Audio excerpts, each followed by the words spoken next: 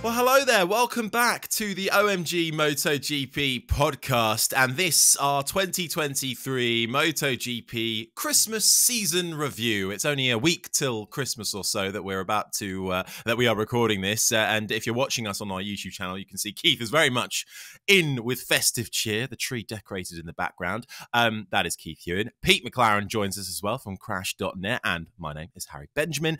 And where to start for this season as we look back and look a little bit ahead as well to 2024. I suppose, Keith, big picture first of all, how how do you reflect on 2023 as a whole? I think it all panned out as we expected it to in the end. I mean, it, it, it went through phases, didn't it? The Aprilia in testing early on didn't look like it was going to be a motorbike that worked. Then it did, um, magnificently so. Then it fell away a little bit. KTM made that step that they'd got to make with all their money and their investment into things. Yamaha probably is the poor relation of the entire grid nowadays, with Honda very close second to them when it comes to uh, performance during the course of the year. Marc Marquez is back. Um, I think that the Bagnaia Jorge Martin battle of the year um, kind of ended up where we might have expected it to, in that Bagnaia just has an extra little bit of maturity to carry it off where it counted. In the main races, the main Sunday races, Bagnaia just seemed to have that kind of edge. How that's all going to shape up for 24? You mentioned 2024. Do you know what? When you said this was a review show and you got a running order for this, Harry, I had to laugh because I, I I've kind of forgotten about 23 already. I'm already on 24 because there's so much stuff that we've we've got to talk about um, pre-Christmas that I'm I'm really really looking forward to 2024. I, I mean, Sito Pons out of a job the great Sito Pons, former world champion, no longer in employment. His team, he came apart. He was going to go and work for the the RNF cryptocurrency mob, wasn't he? As a, as a, as a some kind of financial um, guru to bring in sponsorship and the like. I mean, Sito Pons out of work. I saw Sito at Mike Trimby's memorial at the RAC club last week. You know, really strange strange feeling that a man of his ilk is is out of work. And I think that these are the changes that we're going to have. Mike Trimby again, you know, Misano was marked well probably for two things. Obviously losing Mike on the on the Friday, um, and Dani Pedrosa a wild card, which is something else that we can can push forward to 2024. We've got more wild card opportunities coming up next year. Um, they're going to be very exciting as well. I'm sure we'll get into that as we go. But Dani Pedrosa finishing fourth in a race on a KTM just out of the box. He did two wildcards, I think, last year, and, and, and he was in the points both time around. But the fourth place as a wildcard is pretty spectacular considering the company he was keeping. So there's a there's a lot to look forward to as well as back. Pete probably got a better memory than there. me. I've got to say. Come on, Pete, fill in the gaps. well, I, I, you did a good job of summing it all up there, Keith. But I think, as you say, you know, coming into the year, Bagnaia was the favourite, wasn't it? I mean, we all thought He's got the championship under his belt now. He's going to pretty much walk away with this. And and to be honest, by the sort of the middle stages, he was looking pretty comfortable, wasn't he? There'd been a few races. You saw Bezzecchi, Martin sort of tussling with him a bit, but no one really looked like they were threatening him. And then suddenly, this you know you know the, the, that that shocking high side in Catalunya combined with Martin getting that setup right on the Pramac bike and just going on that run. And I mean, uh, you know, what a what a step forward that, that both Martin and Bezzecchi made compared to last year in terms of the standings. And uh, you know, you look at it as you say, the, you know, the wins they were pretty similar. You know, in terms of wins, I'm talking about Bagnaia and uh, Martin. Similar in terms of wins, similar also in terms of mistakes. Really, non-scores. The the difference actually probably just came down to one of those slightly off days or off weekends where they were a little bit below average. Pecco delivered. He pulled in the points. The number of weekends I think where he got at least 20 points out of 37. So nothing spectacular, but just kept bringing the points home he did it more than twice as often as uh, as Martin did, and that probably is where the difference was. Martin's been speaking, isn't he? I think he regrets obviously Indonesia falling from the lead. You've got things like Australia, all these big moments that capture you, you know your attention. But to be honest, those sort of things even themselves out, I think, over the year. And uh, and uh, again, as you said, Keith, the, Pecco deals with the pressure, and and he was under pressure, wasn't he? Coming in at the end of the year, Marc Marquez even is predicting Martin's going to win this. You know, you had all these people saying Pecco's going to lose this. Pecco kept quiet, he dealt with the pressure, and he got it done. Question for me would be um, Have we seen. I think Bagnaia, probably we've seen him at his best during the course of the year, the way that he handled the pressure and everything. but Magna, uh, but Martin seems to have headroom for me. I mean, he was Mr. Sprint Saturday, wasn't he? Always managed to cover off. I mean, he won more sprints than anybody. But he, he, he seems to have that extra headroom. He's got that extra step that he can make. Whereas Bagnaia, I think he's at the top of his game and went through the year at the top of his. Yeah, finally, yeah, they both made mistakes. You're absolutely bang on dead right. I think next year, the amount of races we've got next year, now that we've got all the data for sprints, we've got all the data for, for the Sunday races, you know, there's going to be quite some changes come the end of 2024. I'm even looking forward at 2025 at the moment from a health and safety position. I I really think that that there is going to be a situation where changes are going to have to happen during the course of next year because I don't believe that we can carry on with the intensity that we've got in Grand Prix. Um, with the loss of Mike Trimby in, in IRTA, I don't think any of it, excuse my cold, by the way, if I sound a bit uh, cluttered. Um, with the loss of Mike Trimby in IRTA, the man that had the power behind the throne, if you like, it's going to turn into more of a committee site situation. The FIM are likely to get more involved. Dorna, what will their influence end up being? I wonder. They're obviously promoters. They're looking to try and build as much financial um, benefit as they can into the series as well. Um, but it's going to be a situation where, as IRTA backs away a little bit, possibly from the representation of riders and teams, because that will be the way of things, it will become not such a dictator's um, domain as it would have been with Mike Trimby controlling IRTA and forcing things through. I think as it becomes more of a committee, that's when it weakens slightly. It's when the FIM come in more, and suddenly this new riders' union that um, Sylvain Guintoli is trying to put the, the nuts and bolts in place will come into its own. And my belief is that you'll end up with the employment of lawyers. I believe that from a health and safety position, um, if I was if I was running their riders union, the first thing I would do is go to all the top riders and say, "This is the cash we need to employ a 250 grand lawyer um, to look after our interests of the year." No rider in any riders union can st- stick his head too far above the turret without getting his head blown off. Um, as far as his racing future is concerned, it's too much of a distraction. So, you know, I think what we're going to end up with is we're going to have a fourth entity that's going to get involved in the rules. The MSMA, for instance, you know, uh, the Motorcycle Sports Manufacturers Association, um, they have a situation where they make rules and it's got to be unanimous. That's got to change at some stage. So there's there's going to be some massive, massive changes. Uh, whether they happen this winter or whether they happen during the course of 2024, I don't know. But uh, but but there are, believe me, some big changes to come in our motorcycle sport from the top end of things because it, it's unsustainable um, the way it's headed at the moment with the amount of races you've got. Yeah, injuries. Mate, I've I've been there myself. The fact is, is you fall off. You see these guys fall off. I mean, 29 times for Marc Marquez this year. 29 crashes. If you fall off your push bike and get a few grazes and a few bumps, you're aching for a week, maybe two. These guys are never fully fit. They've always got something that's either strained, bent, buckled, busted, and that carries through the year with all of these races they've got to do. Add to the fatigue of some of the back to backs that they've got again next year. I looked at the schedule. I mean, it's an absolute bloody nightmare. I'm, I'm, I'm sorry if you're not on YouTube because I've just got it up here now. You know, the potential for 23 races next year at the moment. I know there's a couple in there that haven't yet been homologated, but and they and they got spares. And they've even got Balaton Park there in Hungary as a as a reserve event, just in case one of the others don't make it. You know, you, you know, 24 tracks are on the list for next year. One of them being a reserve. So I think there's some.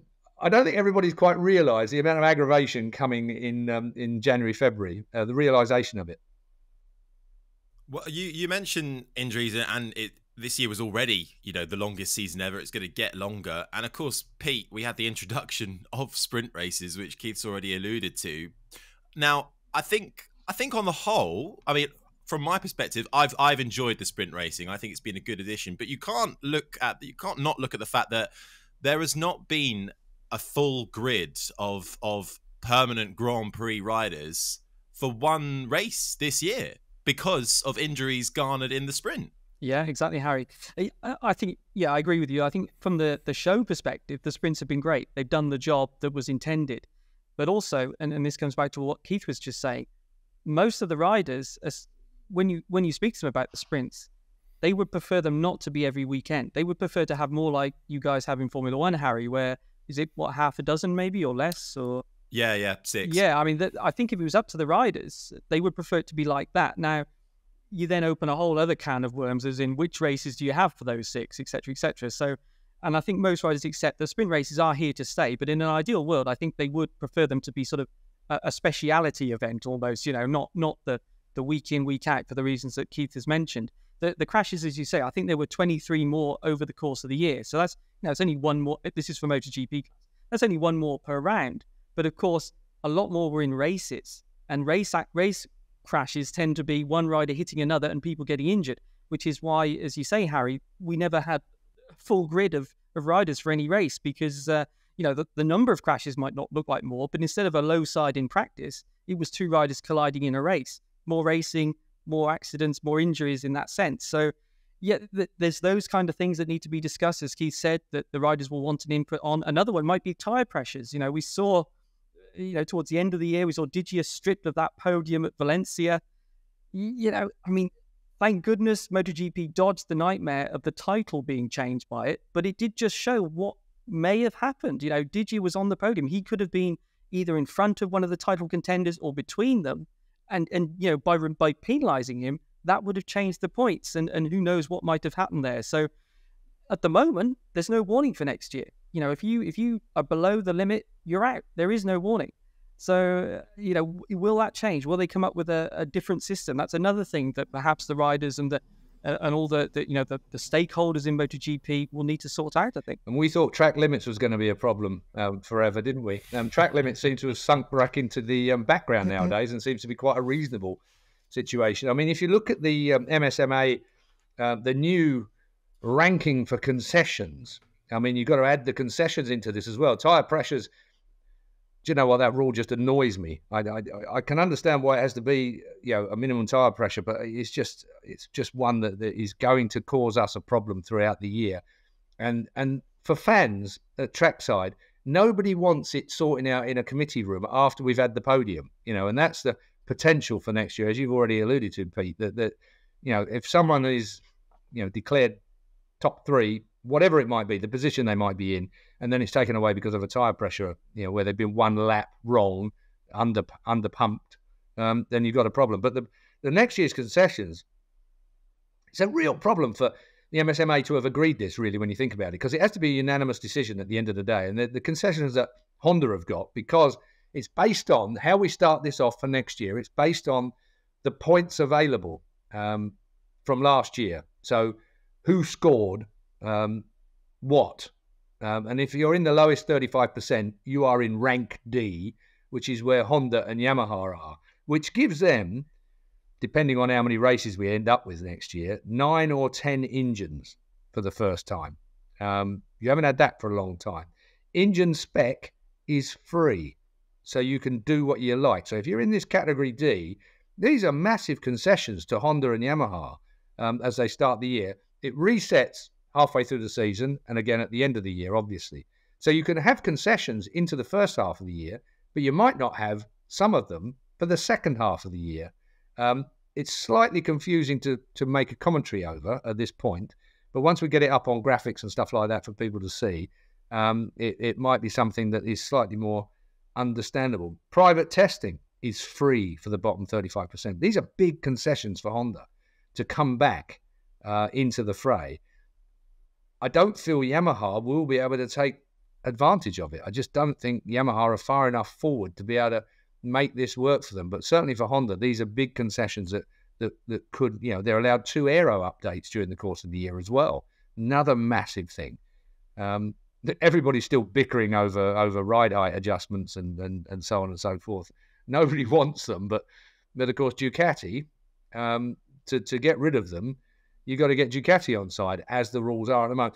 Uh, Pete, I mean, my understanding is the Grand Prix Commission, GPC, FIM, Dorna, IRTA, and the MSMA. Now they're the, the four, and I think Dorna have a, a casting vote if there's a if there's a, a, a an equal disagreement. But the FIM, Dorna, IRTA, and the MSMA that makes up the Grand Prix Commission, and they basically can, I think, pretty much overrule the MSMA in individual. If they want to make, they could change the unanimous rule-making decision of the MSMA. Now, it would be contentious, um, but I believe they can do that and should do that.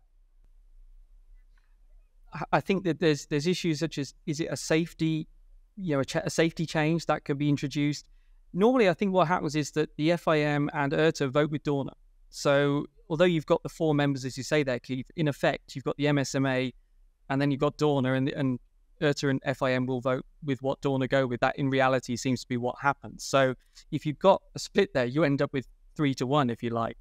Um, so, but but normally the idea is that the manufacturers, if it's a technical issue, it's left to them to thrash it out, and it's only in sort of extreme circumstances and safety is the, the thing that's brought up that that someone will overrule the manufacturers. That that's but at the moment, the with, with and- this unanimous, all manufacturers, all six must agree on something. It means that there's always that right of veto by any one particular team. And at the moment, Ducati, because they've got such an advantage. I mean, we've got ECU changes next year as well, which which could could make some difference too. But the point is, it's it the sport is being held back by this unanimous rule, in my view.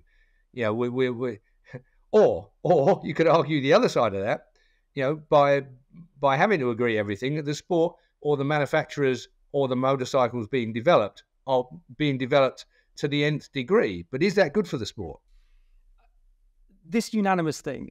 I mean, for example, let's take the concessions. Now, Ducati, they've said, look, they, they were happy to give Honda and Yamaha these these extra concessions because they accept that they need, whatever reason, they need the opportunity to catch up.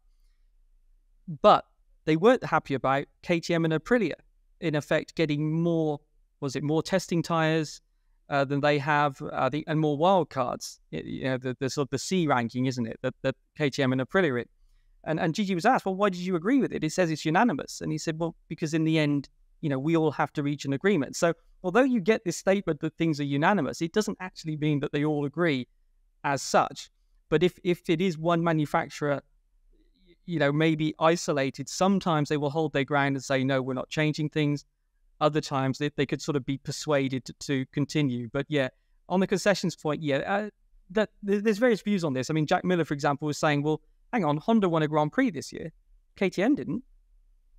Which is true. I mean, KTM, they won a couple of sprint races, didn't they? But they didn't win a Grand Prix. Rins won a Grand Prix for Honda. Now, obviously, as you as you made clear, Keith, the, the, the, the system is changing. It's now going to be about constructors' points, not about podiums and wins, which was the old system. But, you know, so the, the point being, though, there's various people in, in factories going, well, hang on, why are they getting that? Why are they getting that? Um, it's a tricky one. I think I think in the end, what they want is that I mean, Ducati got what, 96%, I think, of the potential constructors' points. That's why they're in ranking A. I mean, 96%. And the aim, I think, will be that everybody will sort of settle in bands B or C. That, that to me, is it. So the guys in D, which is uh, Yamaha and Honda, they get all of the concessions, all the big perks. They will eventually move up to at least C. I think that's the aim. And Ducati will drop to at least B. I think that's what MotoGP is aiming for here. So you'll effectively have all of the manufacturers the only difference between them will be number of testing tires and number of wildcards. I, I think that's what they're aiming. Now, whether that's going to happen, I don't know. Interesting that you touched on KTM there as well, because KTM was shut. The door was slammed in their face regarding extra grid slots, and I think that that was that was that was to try and keep Marc Marquez from jumping ship to KTM at one point. I think that was almost a Honda protection type scheme, in that um, suddenly there was an opportunity across there. Would Mark have jumped to KTM? He's he's obviously jumped in the end anyway to, to Ducati, but but the point being, you just can't always be sure about what is going on behind those um, gilded desks.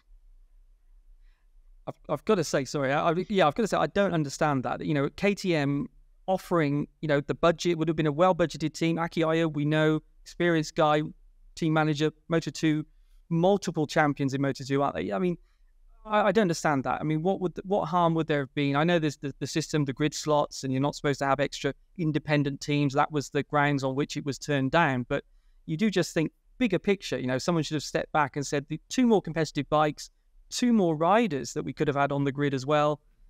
I, I think it was a missed opportunity, and and I, I think I think there's been some words from Pit Beirer that the KTM were kind of taken a bit aback by that that they, you know, were turned down given all this the input that they put into Grand Prix. You know, the Rookies Cup, they're in Moto 3, they're in Moto 2, they're in Moto GP. and yet they can't get two more places on the grid. Was it also to sort of not scare off more you know Yamaha and Honda, Japanese manufacturers. You know, if another yes. team suddenly comes in that's that's not a Japanese manufacturer, suddenly starts doing better than the factory Yamahas and Hondas, then suddenly, uh oh, Dorna have got another Suzuki on their hands. Well, I think that um, Dorna are managing it in the way that they see it at the time that they see it. As we move forward, there's always something that's that's um, that we don't know about that they're that they're they're operating towards or they're trying to appease in some way, shape, or form. But I think Pete's right. It's a missed opportunity. I think we've said that all the way through the year uh, regarding KTM. It would have been a, a, a, good thing. But I mean, I, I, I, I actually, if we take a vote on it between the three of us, I like these concession rules. We it, something had to be done, and I mean, Honda and Yamaha. So manufacturers' points they've they've got to be the lowest thirty five percent. Um, gives them 260 test tires compared with the two, the 170 that you get as a as a, a ranked A team. You've got private testing is free if you're in category D. GP circuit testing, you're only allowed three circuits for A, B, and C ranking, but you can have any GP circuit if you're in D. That's quite a big one. Wildcards, you're allowed six for categories D and C. Engines, an extra couple of motors, which is always going to be a good thing. An engine spec, that's the crucial one for me, is free as long as you're in the lower uh, category um, D ranking. Some quite but big... Keith, coming back to your your words about the calendar. Sorry, when will they have time to test? Good point. I mean, I mean, imagine uh, you can uh, presumably will have to be on the Monday after a race, won't it? But still, you know, as if the Honda and Yamaha riders are not facing a big enough season as it is, they're now going to have to do private testing sandwiched in somewhere, um, you know, during the year. Uh, obviously, they'll be at the Sepang Shakedown. That that's a no-brainer. I think all you know, so all the Honda guys, all the Yamaha guys will be there. That one makes sense. But once the racing gets going, I mean, I, I think it would have to be the Monday. It's the only way that they could possibly I'll tell you what, fit in any test. The summer break is going to be a busy one this year, that's for sure, for some ride. If they've not got that, if they've not jumped out of category D by the time we get to the summer break, where where again the, the pretty much the cutoff point is the half season part of it where concessions change again. Um, it's going to be a busy year for some, there's no doubt about it. I I've, I've I've said this before. I, I, mean, maybe we're going to end up going the NASCAR way with um with with, with two or three teams. Um, NASCAR is so busy in America. Anybody that follows car stuff will know what I'm talking about. And, and bearing in mind, we've got a NASCAR team coming into uh, MotoGP soon anyway. So that the link there. Sorry, everyone, apologising for bringing the car stuff in. But the, the fact of the matter is, is that we've got a NASCAR team coming in anyway. Um, so they'll be familiar with this leapfrogging of, of teams and riders and equipment as they go through the season. There's some 40 odd races in a NASCAR season, and there's just no time to breathe in between. So they they they they piggyback, leapfrog, should I say, not piggyback, but they leapfrog each other around the United States to keep the whole thing rolling. and with the amount of work that these guys have got to do in MotoGP coming up, we might well be seeing a bit more of that. There is clearly a lot of work to do, uh, especially for for the Japanese manufacturers. I do want to come on a bit more. We, we've spoken about them already. KTM, because I, look, I think back to our 2023 season preview way back when, and I don't think any of us thought anything of KTM. In fact, they looked like they were in trouble. And then what a turnaround pretty much from from the start unless we all just read testing wrong but ktm especially for brad binder on the bike as well a very well a decent year for them jack miller with some struggles but ktm from where they were in preseason testing I think they've got to look back at 2023 and go, well, actually, you know, it could have been a lot Testing worse. is quite often about chucking stuff away as much as it is finding stuff that works. It's about eliminating the things that you think you're going in a direction, um, and you discard those ideas as you move forward, and, and you focus where you are going to be strongest. And I think maybe we were fooled a little bit by Aprilia and a little bit by KTM in the early season part um, because they had changes in the pipeline and they just needed to dispense with all the all the stuff that they perhaps hadn't quite worked their way through, um, and maybe that's what fooled a lot of us underly clever. In, in, in, fairness, Keith, I, I asked Brad Binder about this. You know, they were worried. You know, in preseason testing, they they came away from the Sepang test also thinking what we were all thinking. You know, whoa, we're we're in trouble here. So I think we weren't fooled in terms of of where they were.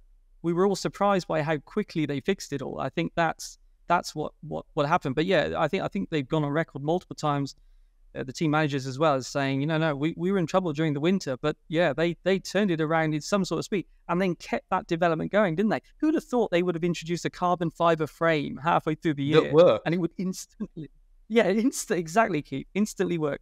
I mean, so so yeah, I mean, they had the consistency, didn't they? They they, they needed that consistency. It was the one thing they'd been lacking, wasn't it? They'd always been able to win a race or two. Okay, they didn't win a Grand Prix this year. They, they won some sprints. Should have won Valencia, of course, but um, but they got that consistency and, uh, you know, improvements in qualifying as well, which maybe Jack Miller helped with. He brought some new ideas from Ducati, new ways, uh, him, his crew chief, and, uh, uh, you, know, the other guys have moved across from Ducati. All of that input, I think, has just made the, the KTM a more refined package. And uh, for, for me, the Aprilia, I mean, it wasn't a disaster, was it? it? They were about where they were last year. They were third in the constructors. They were third this year. Bear in mind, it was their first year without concessions. We've seen quite a lot of factories drop away, haven't we? Or really struggle. I mean, they at least managed to hold their position without having all of those things, or, or most of those things you read out previously, Keith, for the concessions that they, they had under the old system. They managed to sort of hold their level. They won two races. They won one the year before. They won a sprint. Um, but they, they weren't consistent and they had that up and down. But uh, um, you know, not a disaster for Aprilia, but I think they came into the year with big expectations, and you could feel the the, the, the frustration in the early rounds when they weren't taking on Ducati. I think they really thought they could come into this year fight Ducati, and that they, they put too much you know expectation on the early rounds when it was a massively long season. If they'd have just concentrated on you know making the most of those the points in the first half, they'd have been in a much better position in the second because they did you know, they did move up the order. They, uh, you know, they weren't too far away from the top top three or four places in the championship. Well, I think you've you've there's two things in there, isn't there? The, the KTM situation had Dani Pedrosa. Dani Pedrosa as a wild card. Dani Pedrosa as, as a test rider was an absolute asset for KTM and moved them in the right direction. There's no doubt in my mind about that. And Aprilia, you're right. Halfway through the season, I mean, British Grand Prix. Uh, I, I mean, I've got that marked off as one of my favourite races of the year if not the favourite race of the year. Aleix Espargaro pinching it off Bagnaia on the last lap at the British Grand Prix on an Aprilia was pretty damn spectacular. Um, and you've got to say, at that point, they were definitely on the ramp. You know, that, that they were title challengers at that point in the season. Um, so I would say Aprilia probably ended their year with a, with a major disappointment. Maybe KTM.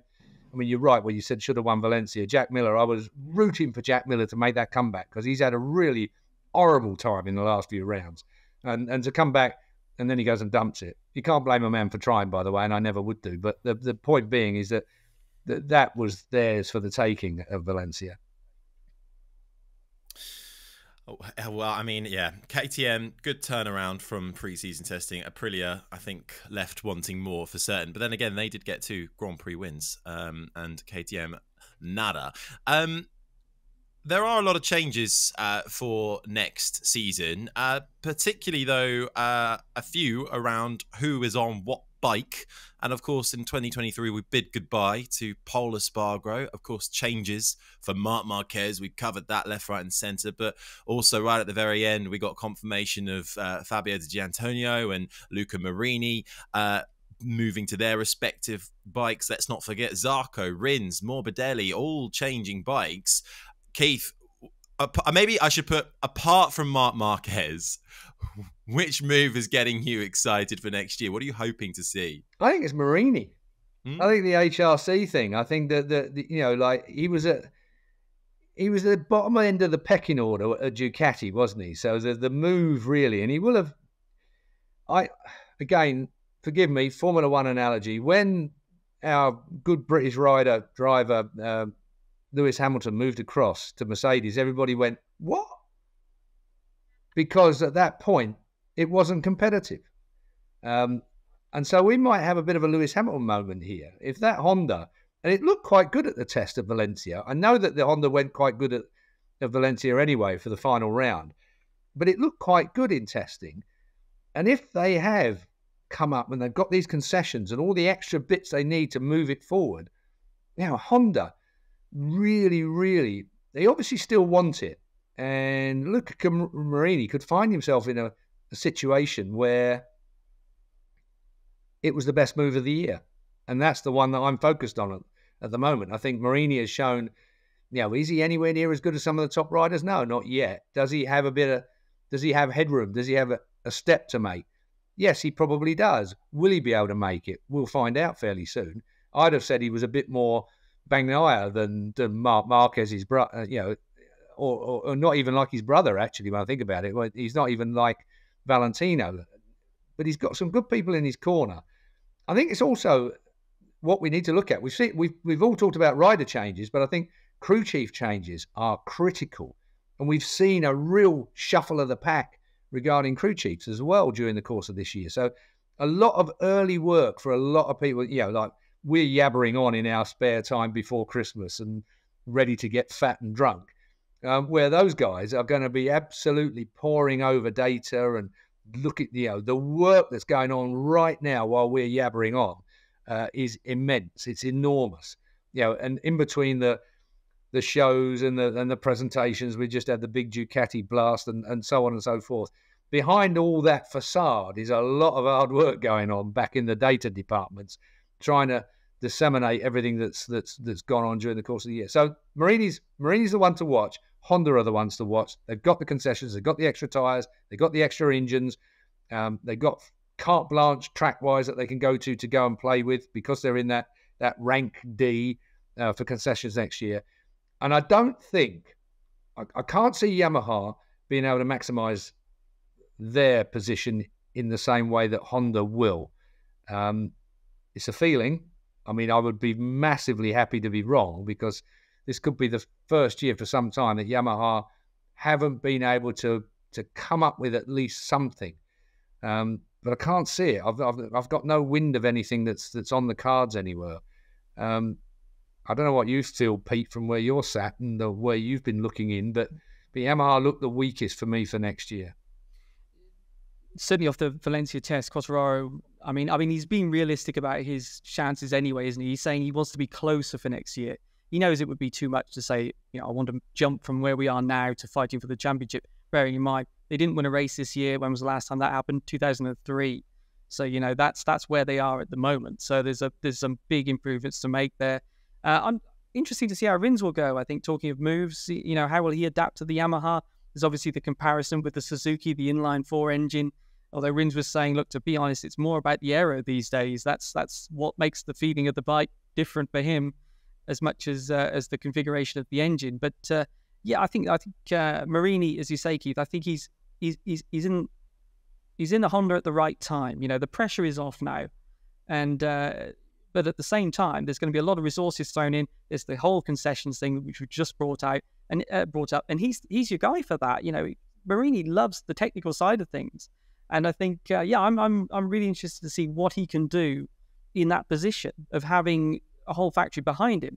Uh, I think I actually asked him at Misano. I said because everyone knows how much he loves the technical side of things. He's been on a year-old bike with no new parts on it. I said, you know, do you ever kind of get a bit frustrated that you don't get anything new to to try? And he said, well, that's that's what that's what your life is when you're a satellite rider. You know, he accepted it, but now he is getting this factory chance, and I think it's uh, it's going to be interesting to see. But uh, you know, on the other, let's say his former teammate, people like Bez. I mean, I think you know he's been getting better and better, hasn't he? Big step forward in the in the rider standing this year, obviously overshadowed by Martin, but uh, he's made a big step up. You you talked about Martin, where will he go for next year? The headroom he's got, I think Bez is another one with that headroom, and another one of those riders who's going to be fighting for that factory Ducati seat for 2024, isn't he?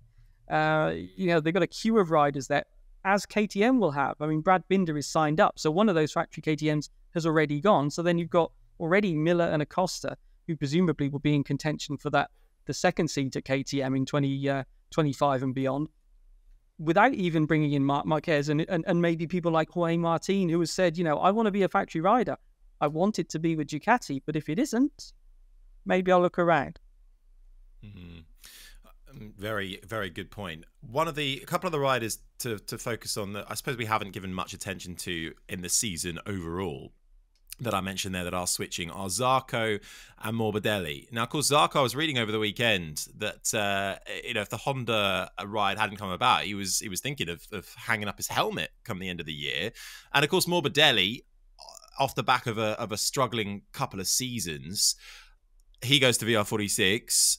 Do we think this is a, a, a last chance saloon for Morbidelli, or, or, or actually was this year fairly fairly good in comparison to the previous year, Keith? Yeah, I think you got a problem with um, last chance saloons for a lot of people, even when you're riding well with the amount of talent that's coming up. I mean, when you saw the way that Acosta was drifting the first first day out on a MotoGP bike at Valencia, and what he was doing with that motorbike, I mean, I mean, anybody that's raced a motorbike just sat back. Well, anybody anywhere that's just sat back and gone, bloody hell! it was it was so impressive to watch that um, you know and I, and I, I don't- I don't think you've got many laurels to look back on when it comes to MotoGP. It's the top class. We've we've seen contracts that can get broken, and that is a trend that I think we'll see more of. You know, Morbidelli, you know, he he's got to he's got, got to come up with the goods now. Um, Zarco, you never bloody know with Zarco. He could be a winner or last place. I mean, he is he is a unique individual. He's a But he is now finally a winner. Yeah, He's- he's just a he's a, just such an unusual, unpredictable character uh, with the nicest manner you could possibly have. He'd be a massive loss to the paddock, but the the you know he's still got to consistently put it together. I mean, this is about winning championships. It's not about doing the odd sprint race here and there. You've got to you've got to be in with a chance of winning the championship, or at least showing that kind of potential, so you can back up the factory guys if if needs be. Um, we'll see. I mean, again, how quickly will the will the parts filter down? You know, what what will be passed across? What what will be beneficial? We're gonna we're gonna find all that out in the fairly early days. But Pete's comment a minute, a minute ago: where are they going to find time for this testing? Hmm. You know, injury. You're going to be carrying injuries virtually throughout the year, um, and the last thing you need is a bloody test on a Monday, having given it. Honestly, I, I, I can't. Ex- I don't think I can explain to anybody. Anybody that's been in any kind of sport, and say Sunday is your peak day, so you get there on the Wednesday, Thursday is press day. Walk the track, run the track, cycle the track, whatever is your your choice. Press conference at five o'clock. all the usual PR rubbish that you've got to do. Um, look at Talk the data from the week before. Yeah, I was thinking the scum of the earth, them bloody media people. Um, got to got to do all your all your bits and pieces. Friday, kick bollock scramble to get your faster time to get yourself into the qualifying position you need to be in. Saturday, even even bigger day on Saturday because you've got a sprint race as well now. Just when you've got a peak on a Sunday, you're knackered. You've already done a week's work, and you're you're suddenly got Sunday and you've got a massively long race. So the last thing you need to be doing is getting up on bloody Monday morning, full of the aches and pains, masseuse and, and whatever it takes to fix you, um, and ride round and round in circles testing something. It's awful.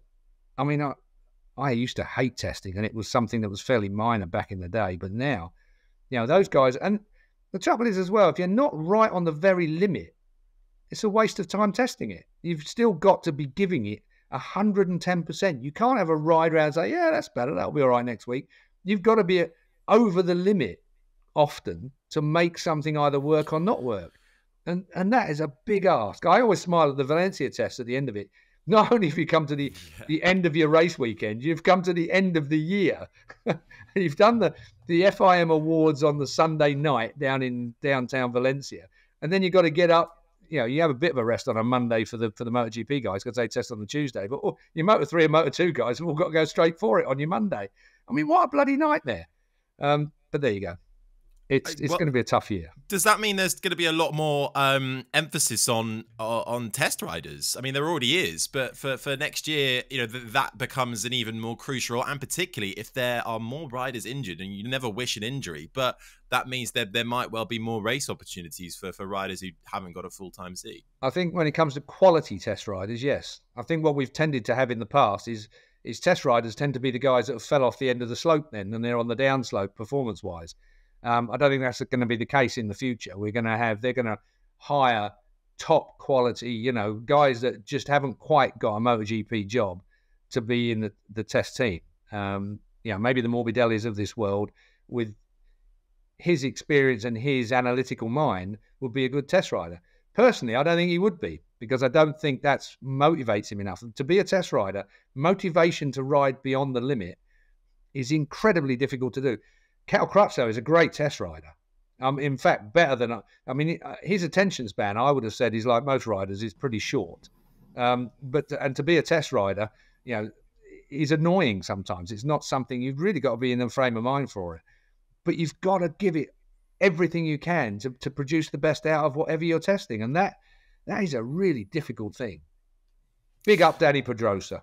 Yeah, I knew that was coming. Uh, big up. There might be a, a, question on Dani Pedrosa later, where there is a quiz to round off the show. By the way, so I play along quizzes. at home. Play along at home. We're not there yet though, um, because I want I want to move on and talk about the new team. Uh, but first of all, Pete, just one more word on on a rider, um, and we talk about how difficult it was uh, for all the riders this season, but Pol Espargaro uh, in particular a real tough year for him, and it culminates in him losing his ride for for for 2024 yeah, you know the the sort of the musical chairs, and and we spoke about the KTM. This is also why they were trying to get some more grid places because they wanted to keep all five riders, if you like, with the addition of Acosta next year. They weren't able to do that, and Pol ended up being the guy that sort of stepped aside for uh, for Acosta. But uh, as you say, I mean, massive injuries in for Pol at round one in uh, in Portimao.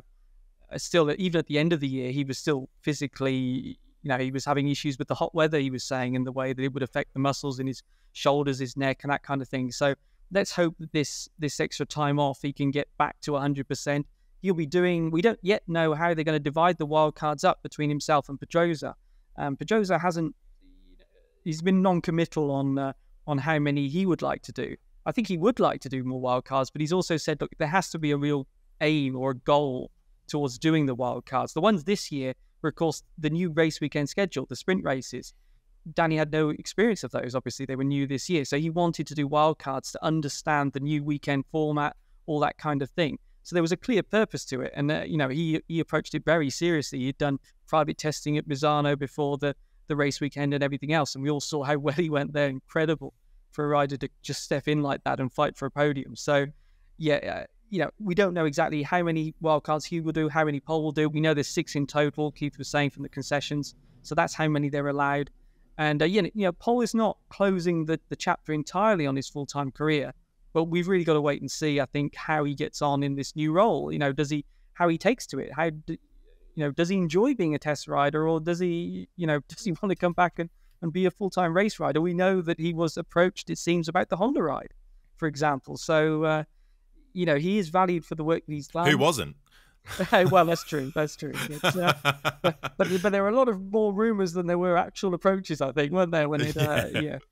But um, yeah, I think you know, Pol needs Pol needs some time just to just to heal for the you know, as Keith's been explaining, the battering anyway that these riders take, and that was the injuries that he had. He's what 1.5 centimeters shorter now because of the damage to his spine, things like that. I mean, it, it, it was a it was a massive accident, and uh, you know, first thing is let's hope he gets fit and healthy.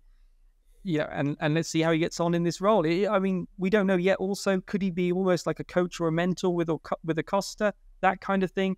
It's it's all to be determined. How often we'll see him at the racetracks. I mean, he might well be at the races even when he's not doing a wild card, if you like. But uh, he'll still be there often enough, I think. And uh, yeah, looking forward to see what he uh, what he does next year. Absolutely. Well, uh, we wish Pol all the best, uh, but we'll be sure seeing him uh, in the paddock uh, next year. That's the rider stuff. Now, I want to come on to Moto 2 and Moto 3, but first of all, the last bit to sort of see off this MotoGP Section 1. Um, we got a new team that we've already mentioned in, in, a bizarre sort of end of year scramble, it seemed, Keith, where just RNF and, and crypto data just seemed to collapse within hours uh, after lots of speculation, them denying it, then suddenly it all came to fruition, and then super quick, suddenly we've got America represented on the MotoGP grid, and it's from your old stomping ground, NASCAR. Can you believe it? Can you believe that I had something to do in NASCAR? That's um, probably yeah. that's probably as hard to believe as anything else. Well, I mean, it, it's interesting, isn't it? I mean, there's two trains of thoughts here. I've always liked the kind of constitution of NASCAR, the way that they treat their fans, the way that it's accessible, uh, the the sort of rigmarole, the PR that goes with it. It kind of it sort of suits motorcycle racing in their thinking. You know, for the fans, it is for the fans. The other side of that is is that somebody tweeted me and say, do we want a load of drunken fans at trackside that only want to see crashes? Um, probably not a bad point when it comes to NASCAR. There's no doubt about that. But I don't think that will be the case in, in MotoGP. Um, but I think American investment is important. And I think Dorna have really, the, the speed of this moved at such a pace because I think Dorna saw the opportunity in that market that's still not very stable. I mean, MotoGP is still not a really stable market, I don't believe, in, in America. And this might be that little fillip they need to to to make it a better thing, make it a bigger thing. You know, PR wise, it's it's already probably got more publicity in, in the states than than than we would have if if COTA was just running as as per normal. Um, and you know, will there ever be a two Grand Prix in America? There should be. You know, a place the size of America, we should have two Grand Prix going on there. Um, where that will possibly be, you know, there's another track that's coming up, I think, um, in the next year over there as well, which might be looked in. They've got some great racetracks. It's like British British Championship race racetracks. We've got great racetracks, but none of them are homologated for Grand Prix apart from Donington Park and Silverstone, um, which is a which is a terrible shame considering the kind of quality tracks we've got. Who'd like to see a Grand Prix at Brands Hatch? Me to start with. Um, Cadwell Park. that would be something a bit. No, I'm being ridiculous. Forget about have a word with Mr. Have a word with Mr. Palmer. I do. Good old JP. Um, he wouldn't put it on anyway. It cost him too much money. He's only interested in the profit side of it rather than the Grand Prix side of it. Um, but but that's another story altogether. I don't know. I mean, it, it's it's going to be a very, very, very interesting year moving forwards. I think that the the RNF thing fell apart. It's a strange thing, isn't it? The way Razlan Razali was the CEO at Sepang International Circuit. Then he was CEO of the new race team, the independent uh, satellite team for Yamaha. What a great start they had in Moto 2, Moto 3, Moto GP, Petronas sponsorship. I never really got to the bottom of why that died as quick as it did. It was a, one minute they were in fully committed Petronas. It's not like they're short of a few quid. Um, and that fell apart at the end of a year very, very quickly. And this cryptocurrency mob from Romania, um, they, they, I mean, uh, the the, the yeah. sort of press crypto crypto data i think is different to cryptocurrency but that's by the by well yeah i mean whatever it is I, you know at the end of the day i've only ever lost money on it so um yeah. so, so I, I, maybe i needed more data i needed crypto data to look after me um, but the point being is is these guys came in and rumor has it they haven't quite you know stumped up what they were contracted to stump up financially which is could be a disaster for Razlan Razali. He's an out. I mentioned Sito Pons being out of a job. Um, that's a very sad situation. But Razlan Razali appears to be out of any kind of contention for any kind of a team. And it happened very quickly. It must have been deep rooted over a long period of time for Dorna to shut the door, to slam it in their face as quick as they did. Um, it has to be from the very, very top if you're going to kick someone like Crypto Data out in this particular instance. Um, and the Romanians um, aren't very happy that um, they've lost face massively, um, and that's not a good thing when you're in something like cryptocurrency. I'm led to believe. Yeah, I mean, Pete, what have, what have you heard about it from your end? And obviously, we should say Trackhouse, the name of the team, they the NASCAR team. They've got some big, heavy movers in there, including uh, for those of you who are into your uh, your sort of rap pop music, Pitbull uh, is ah. is a, is an owner in the team. Rem- um, remember the Martin Brundle Pitbull interview on uh, on the grid? I do not. Has he interviewed him? I thought he did. Has he not? Has he not done that at some? Has he stage? not done pit? Well, he's de- well, he's done a few like Pitbull, I'm sure. But if we'll have to, we'll have to dig that out of the archive if he's done it. Um, I want an, I want to see an interview. I want to interview Pitbull next year. That's the dream. Um, but and they're keeping the same riders, aren't they, Pete? So they're, they're got no choice. Yeah, and, and and they're already. It sounds like they're already trying to sign up Aprilia uh, to, to supply the bikes long term. I, I think that's yeah. I think that the deal is done with Aprilia as well. I think they've the you know the grid places that that was really the moment, wasn't it? There was this cryptic clue from Razlan, wasn't it? This post on his Facebook page saying "last dance" before the Valencia weekend, We sort of had a few people sort of scratching their heads, and then suddenly, as you say, it just in the space of a few days, there were there were sort of statements going one way and then the other, and then there was this announcement saying the, the grid places would not be given to uh, to RNF crypto data for next year, which really, when you don't, when you're a race team and you don't have grid places, you don't have anything. So at that point, it was quite clear that that, uh, there was something else waiting in the wings, and that was this this Trackhouse American team. And uh, yeah, it sounds like they they were already in negotiations, but but I think it was obviously accelerated when an, this opportunity arose. I, I, think that's that's sort of it was almost I I won't, I won't say spur of the moment, but the opportunity came up when there was the problems with the the RNF team, and they jumped on it and said, "Now, look, now's your time. If you want to be in MotoGP, now's your time." It's an interesting take. Keith is talking about trying to break America and how important that is. We've seen them try to get the riders, haven't we? We've seen Cameron Beaubier, Moto 2, Joe Roberts. They haven't quite shown what they need to get another rider into MotoGP. Like, you know, obviously we think of Nicky Hayden, Colin Edwards, Ben Spies, those guys. You know, it's a while back now, but that's really what the sport needs. Now, this is another way of doing it, isn't it? You get an American team in. So that, that'll be interesting, interesting to see if the American fans, you know, gravitate towards MotoGP because they now have a team. Hey, it could be the, the next year could be the year MotoGP begins to crack America. Before you know it, it goes all Formula One, and we've got three races a year in the United States. It's interesting that, that that we saw the same thing with Vision Track, didn't we? I mean, uh, uh in Moto Three, I know, not in MotoGP, because the commitment is even bigger in MotoGP. But when Michael Laverty was given the opportunity to put together a team to take the two grid slots uh, in Moto Three, it was a similar thing done behind the scenes very, very, very quickly. Michael was given a timescale that you've got to put a team together and put the money together um, or not, um, because there is no shortage of people that want grid slots, and they are they are the currency in our business. Um, obviously, Aprilia they were going to be in it anyway; they were already contracted, so you know it was just a case of putting this new band and together. Yeah, yeah. Basically, it's amazing I, how quickly something happens when Dorna wanted it to. I mean, I mean, basically, you, you could say it's almost a rebranding. It's a management change, isn't it? The people at the top yeah. are changing, but I'm not quite sure if Wilco Zeelenberg is still going to be team manager, but everybody's certainly beneath that. I think Wilco's still got to confirm, you know, exactly what the pit management lineup is going to be. But everything beneath that, you'd imagine is just going to be the same, be transferred across. The bikes, the deal is done with Aprilia for the bikes. Sounds like they might even have 2024 bikes. So that would be a big boost for uh, Oliveira. Well, not, not only Oliveira and Fernandez, but also for Aprilia as a whole to have four bikes, identical bikes, easier to easier to compare the data as well. I hope they don't go the wrong way by thinking that they can reinvent the wheel as a management team.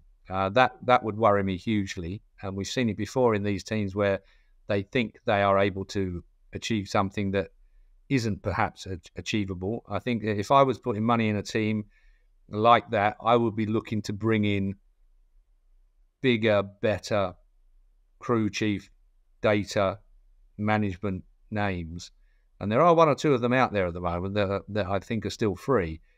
Um, and that would be the most prudent way of making sure your team operated in, in the right manner. Um, I mean, even did it with Rivola. You know, we didn't didn't really know anything about Rivola, but somebody had this brainwave that let's bring him in and from from Formula One and and see if his management skills can can bring our team on, and it did for Aprilia. And I think that that if you if you bring in a bunch of, of Americans that that that what's the word? I'll use the word arrogant, but uh, I don't mean it in a de- in a derogatory way. I think believing in what you your style of management, your style of getting things done, is a kind of arrogance. It's a bit like a sportsman. A sportsman believes he can be a winner. Is that a bad thing? Being that that way arrogant. Um, arrogance can be a good thing in your belief, your self belief. Um, but in this instance, I think that they would be well advised to bring in more names that can put the team together slightly better than it's been before. I think Razali was running it down a little bit. Um, it needs a little bit more input as far as that's concerned, and perhaps the Americans can just step back just a bit and oversee their investment into into this new team. Davide Brivio. Yes.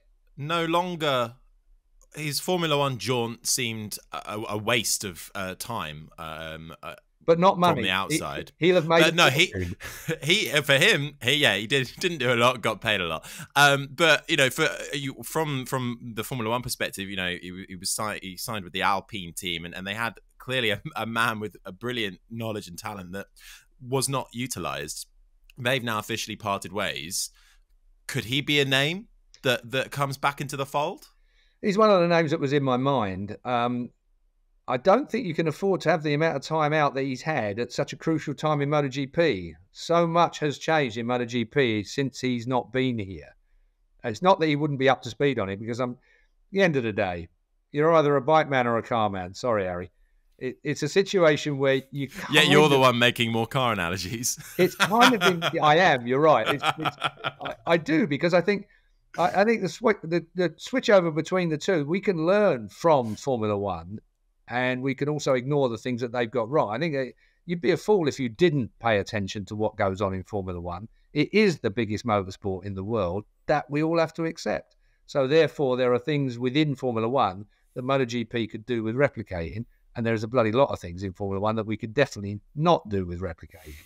But the point being is that I think that um, Brivio will have been paying attention to what's going on in the bikes, um, particularly as he's not really been doing much in the cars, it would seem. So he's a he's a bike guy at the end of the day, and and and he came from a very successful background in bikes. I'm sure he would be quite happy to come back in, or maybe not. It's a long, hard season. He's been in Formula One. If he's been at every racetrack in Formula One, it's a long, hard season in Formula One as well. So maybe he's of an age where he, he's made enough money and he doesn't want to commit.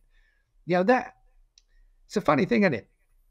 Commitment is something that you just it goes without saying for most people. It's not something that you have to, well, I'm fully committed. Anybody that says that I'd worry about. It's something that's it's a you're a doer. You're in it. You're committed to it. It's your life. You breathe it, mate.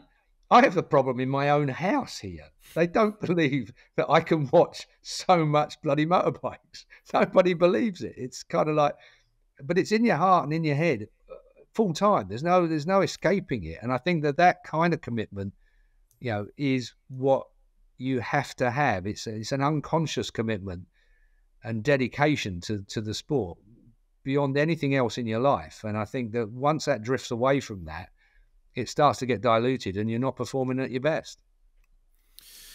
Well, let's see what the next few months holds uh, for uh, Trackhouse and uh, how they come together for 2024. Uh, let's just step away from MotoGP for the moment because we can't ignore Moto 2 and Moto 3. And uh, Pete, let's start with Moto 2. Now, of course, Already spoken about Pedro Acosta, um, champion ahead of Tony Arbolino, Fermin Aldeguer, and Jake Dixon uh, just behind. Um, how do you uh, look back on the Moto Two year? Of course, Acosta, the wonder child from from the go. We'll we'll see what he's got next year. Finally, in MotoGP, we will indeed. Yeah, a bit like Bagnaia, he was the preseason favourite, wasn't he? He was the guy that we expected to to sort of win the championship. What did he get? Seven wins in the end, which uh, I think is the most since since uh, Bagnaia when he won the title a few years back. Um, so so a dominant year, but not a record-breaking year. Um, Moto2 as a whole, they were the, the racing wasn't fantastic, was it at times? And I think that's also, you know, when when we all jump on the the wings are bad, the ride height devices are bad, the tire pressure problems in MotoGP. You know, you got Moto 2 without any of those things, and the racing wasn't great. So it, it is a complicated thing. Getting close racing is is what it's not just as simple as taking some wings off and everyone will be closer again in MotoGP because Moto2 showed that this year, I think. Um, but yeah, Acosta, I mean, he's he's only done three years in Grand Prix, isn't he? He's been champion in two of them. Uh, similar, similar-ish to Joan Mir. He did three years before moving to MotoGP. He did, but he did two in uh, in Moto three and then one in Moto two. So sort of the opposite way around. But uh, yeah, I mean, everyone believes that, that Acosta is going to be obviously a star. Exactly how big a star is still to be seen. And uh, of course, Fermin Aldeguer took some of that limelight at the end, didn't he? At the end of the season. Uh, so that's uh, you know that that sort of took the the shine off a little bit, I think.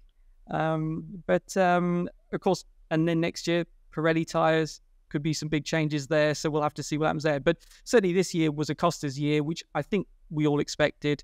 Um, and yeah, I mean, good to see Aldeguer, the speed ups. Good to see that the Kalex is not completely dominating, even though they are obviously, you know, they've won the championship over 10 years in a row now, I think. So there will be some more. I think Oscar is on the grid next year, um, a couple more of those bikes. So a bit more variety, let's hope. But uh, yeah, I, I, think it was it was the season that we can't, or the champion that we expected.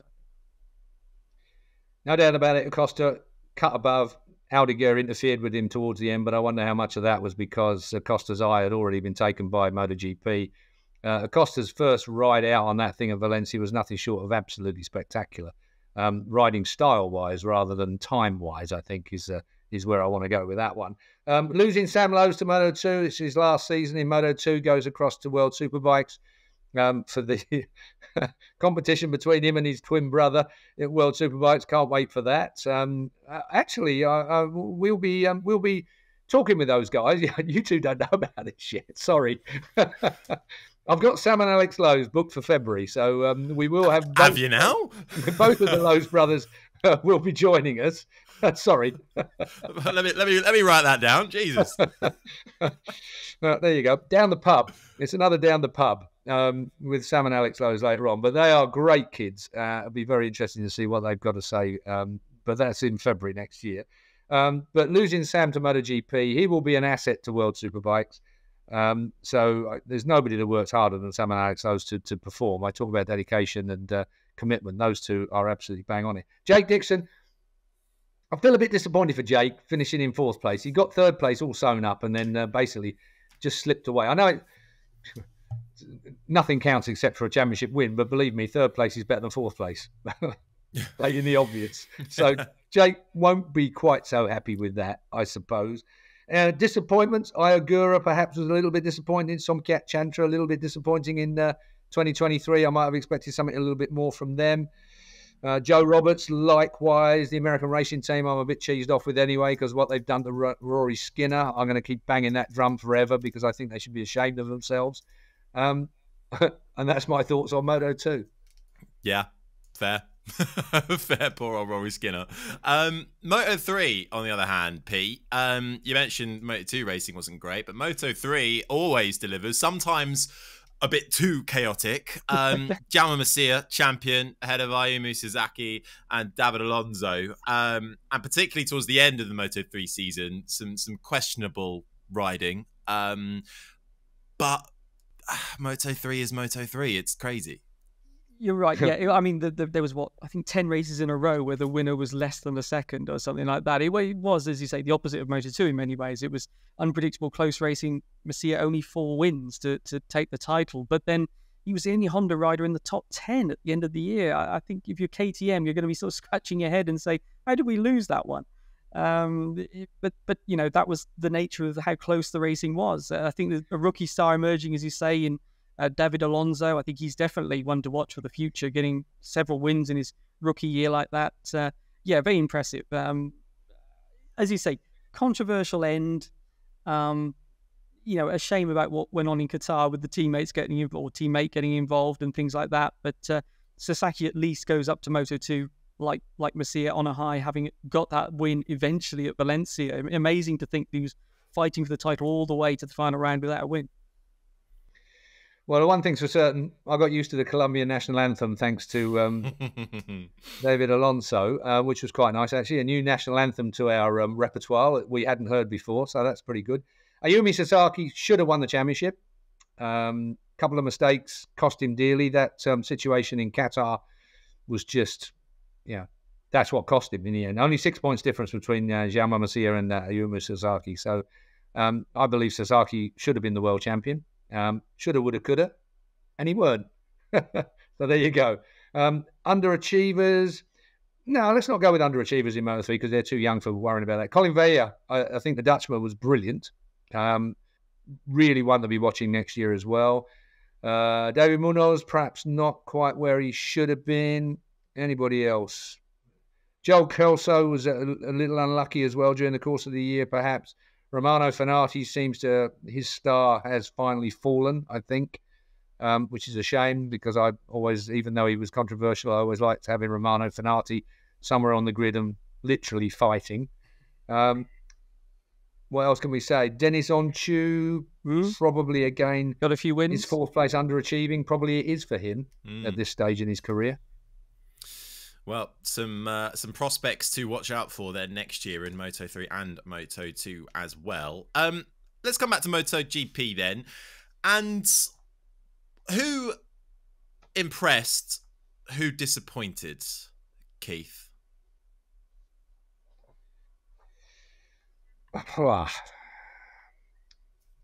what a year um, to ask me that question. Mm. Um, yeah, I was disappointed with quite a lot of the top runners, to be honest with you. I mean, if, if we if we're going to bloody look at the, the, you know, uh, there were quite a lot of people that disappointed me one way and another.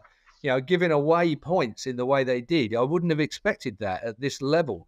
You know, Martin did it, Bagnaia did it, Bezzecchi was on his way up, so we can't argue with him. Brad Binder, you know,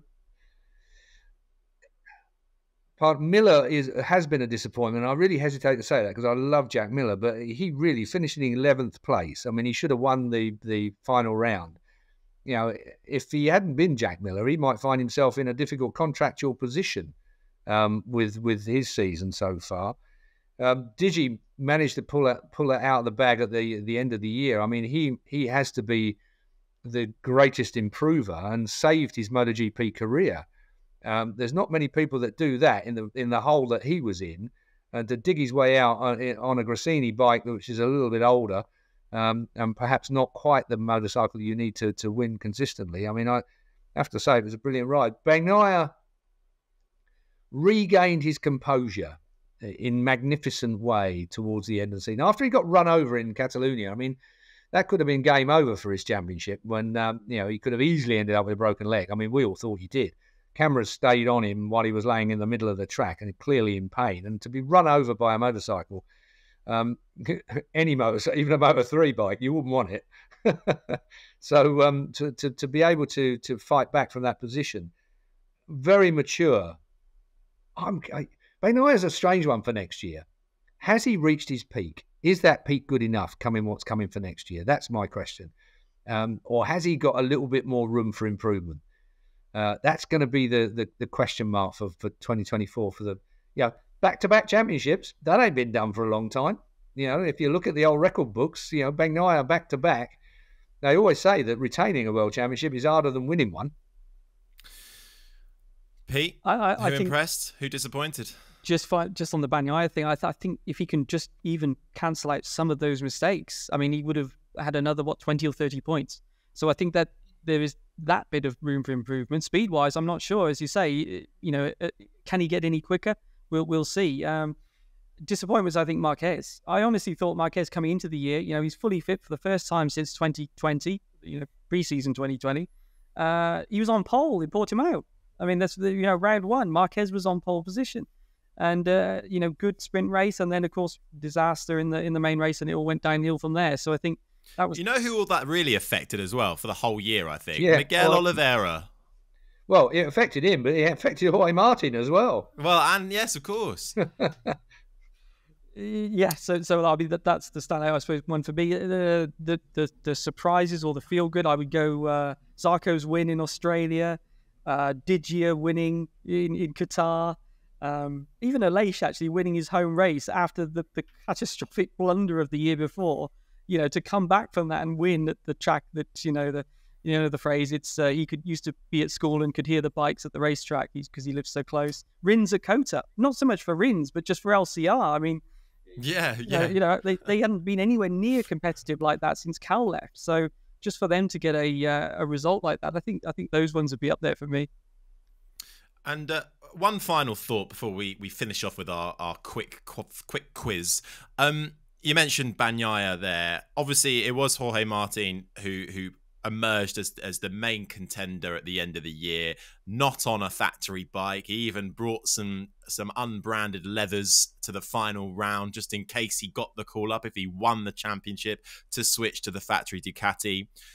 You talk about how much room is there to grow for for Bagnaia, but Keith, how much more can Martin do next year? Not on a factory bike but clearly with with the speed in hand to challenge. I think kind of right at the very beginning of this, uh, we we talked about Jorge Martin. He he he for me has that little bit extra room um, for improvement here and there. I mean, he's clearly fast in sprints. Um, it depends on how he works with his team next year to sort out um, his positioning in in the main race on a Sunday we are talking about tiny, tiny, tiny amounts of difference now between all of these bikes and all of these riders. It is such a small amount. You know, grabbing a yard here and there is old fashioned. There's not a millimeter to grab here and there on the brakes. You know, you are. It, it stuns me just how close it all is. So he who gets his head around it, and I think Jorge Martin is a very. It's funny, isn't it? In interviews, you would say Jorge Martin was the most confident man out of he and Bagnaia in interviews pre-race. But then you get on the grid, and Martin looked more nervous than Bagnaia. Bagnaia always looked a little bit more composed. So I would say that probably Jorge Martin needs to work on his composure a little bit more. Um, those immediate minutes pre-race, you know, the excitement of that, the, the the rush of blood. You know, we always expect him to be quick in the sprint because that's what it is. It's a it's a balls out bloody half race distance. Don't worry about conserving tyres or strategy. It's just get on and go for it. The kind of races we all love. Yeah, it's like club racing, national racing, you know, short races, loads of them. Let's go for it. Um, but of course, it's a bit more about getting the 25 pointer on the Sunday that counts. You know, it's, it's being able to make that work. And I think that's where Bagnaia had the advantage this year. I think maybe for Jorge Martin, where his improvement comes is from maturity, and that comes naturally. Well, I think he's going to be on the, the, the, same spec bike in theory, isn't he, as, as the factory team again? So that that's a good thing for him. The key thing though is going to be is he going to have that that comfortable setup that he seemed to find, as we say around Catalonia's time, that they just didn't touch. You know, that he was like, right, that's how I like the bike, don't touch it, and then he just performed, performed, performed every weekend. Will that transfer across to the 24 bike? There's obviously going to be changes with the 24 bike. Gigi's kind of indicated that he thinks there'll be a bigger difference between the 24 and the 23 Ducatis than there was between the 22 and the 23 Ducatis. So that spells a bit of bad news maybe for guys like Marquez, Bezzecchi, the guys that will be on the year-old bike. Um, we've got to wait and see, haven't we? But uh, I think it is going to be interesting to see how he responds to this, coming so close and losing out at the final round. We saw the tears in the pit box afterwards, didn't we? But I think, you know, he's going to have all that confidence of knowing that he can do it, that he is fast enough to be a world champion and it's about who else is going to interfere with him, who else is going to frustrate that. Uh, and I think we're going to have a lot more spoilers as the year comes on as well. All of those races before, as we started the season, no one sprint setup, race Sunday setup, completely different. Nobody quite knew how that was going to work, how it was going to pan out, tire wise, performance wise, qualifying wise. They've got all that data now. We start with next year. Everybody's going to be hopefully not crashing into each other like Marquez did last year in Portugal round one. I'm excited for 2024, and it's just around the corner now. So uh, enjoy a little break, but we'll be right back with more MotoGP action. But first of all, before we round out our Christmas special, um, a quiz that I have designed. It's Keith versus Pete. It's five questions, and we'll start with question number one to Keith first. Um, in the event of a tie, there is a tiebreaker. Keith Huewen, 32 riders took part in a MotoGP weekend in 2023. Which rider finished last in the championship? You just broke up right at the point for the question oh, no. that. I'll repeat that, that again. Me. Yeah. which rider? Which rider finished last in the 2023 championship? Don't look. No looking. No looking. It's a, I I feel sorry for Pete because I've got it all in front of me. No, but don't look at it. That's all. I, I am honest when I'm cheating. Oh, right, go on then. Who is it? well, it's Alvaro Bautista. Well, hmm, can I accept that? Why? Because sh- he's because he's not a permanent rider. Well, well, no. I, so I had a different answer. I had um I had actually technically not classified, but still on the standings, Takumi Takahashi, because oh, he oh, yeah. didn't qualify, but a DNQ places him lower wow, you, you... than Alvaro Bautista's seventeenth place. So technically, they're they're kind of joint thirty first, but a DNQ is worse than a 17. So I'm afraid actually you don't get the point for that. So it's it's incorrect. I was looking. This is more complicated than tire pressures. exactly. Do you Pete. reckon you would have got that, Pete? no. so see, this wasn't going to be easy. Pete, your question next. Raul Fernandez is the youngest MotoGP rider on the 2023 grid, but What year was he born? Oh, Oh, uh, so what would he be? Twenty, early twenties, uh, I'm afraid we can give no help. twenty, uh, two thousand and three, two. Oh, incorrect. Both attempts. The year 2000, Oh, Ralph okay. Fernandez Oh, oh, was born. right, the year older look. 2000. Right, God, it's been a woeful start. Okay, Keith, back to you. Your favourite man, Dani Pedrosa. How heavy is he? and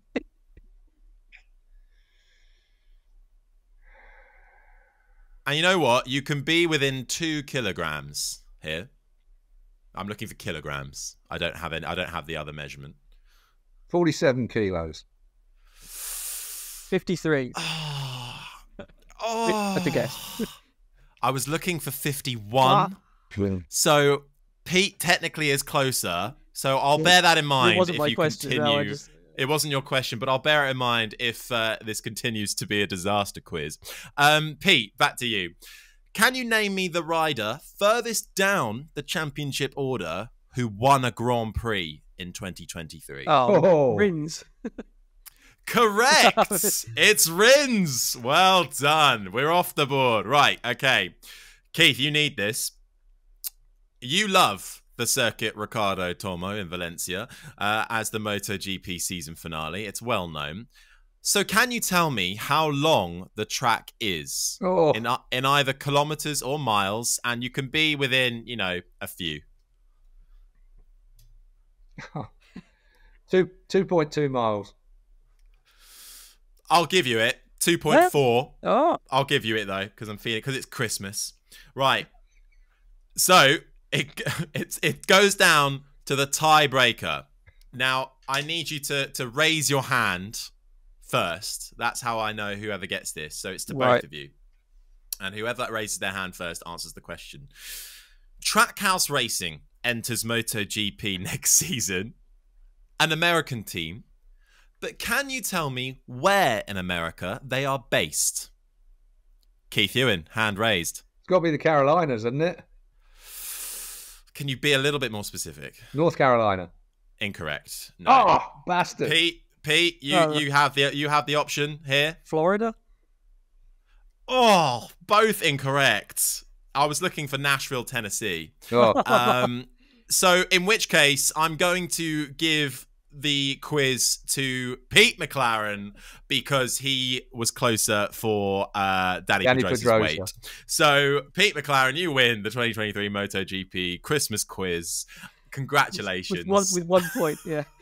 With one point, one and You know a half, one and a Dani- half. Dani Pedrosa must have more muscles than I thought he had because I based him on my wife's weight. Not that I've ever picked Dani Pedrosa I was up. going to say, did you? Not yet. There's still time. Um, well, look, that brings to an end uh, our show.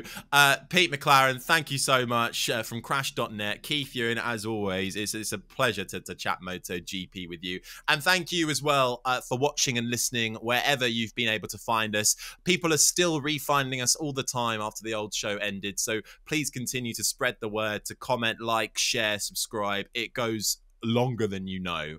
Um, we are going to be back for a show in January and February. We've also got our James Toseland Down the Pub special, uh, which uh, part one is going to be out on Christmas Day. So uh, you can enjoy that uh, with your turkey as well. Uh, it's well worth a watch. Uh, and as Keith has already alluded to, we've got lots more in the pipeline too. The Lowes Brothers, apparently. That's new to me. So looking forward to that. Um, Keith, any final words before we wrap up for Christmas? Thanks very much for being with us. I mean, I think that that obviously, you know, Pete and Crash stay together, um, but we, me and Harry, drifted off to OMG and um, set our own situation up. We appreciate you uh, being with us throughout the year. We appreciate Pete's input as well when he's able to join us. Um, we've got plenty planned for next year. It was all a bit, bit of a kick bollock scramble, wasn't it, in August when we decided to set up OMG MotoGP. Um, but we've got a lot of plans for the for the coming year. But as Harry's already said, if you can subscribe, tick all the boxes that you need to tick, it really does help on the algorithm and gets us back in in there as well. And the more that that we, the more viewers that we have, the more content that we can give you for free, as it happens. we're not charging for any of this, which really makes a game for me. we might have some merchandise in the new year as well. Oh uh, yeah, yes. There might be a little new look coming for OMG. We've done a bit of a rebrand for next year, so have a look at that. Um, but yeah, I reiterate everything Keith said. Pete, thank you so much for all your time. Thank you actually to all of our guests as well who've joined us and given up their time as well, um, and Amy Reynolds as well, who's come on to, to guest host a couple of shows. Massively appreciated. Uh, them and more. We'll see you in the new year. Have a great Christmas or however you spend it. Uh, and uh, we will see you uh, in 2024. But keep a lookout for our James Toseland episodes as well on YouTube and all the audio platforms. Uh, but until then, have a good one. Bye bye. Merry Christmas.